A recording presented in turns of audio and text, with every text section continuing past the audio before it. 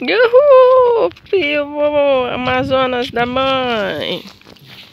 Você é Amazonas da mãe?